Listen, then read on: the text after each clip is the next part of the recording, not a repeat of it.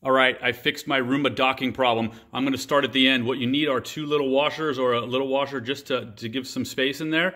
And you put it underneath that um, gray bearing right there on this post. So put two washers on there like this. Hold on a second. And then, uh, so I just put two washers on there.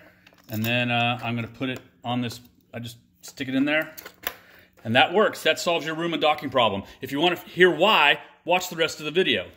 So why is because that uh, bearing wears out and this thing sinks down a little bit too low and then when it goes to dock on the docking station, it hits the, the bumper right here and turns around and stops.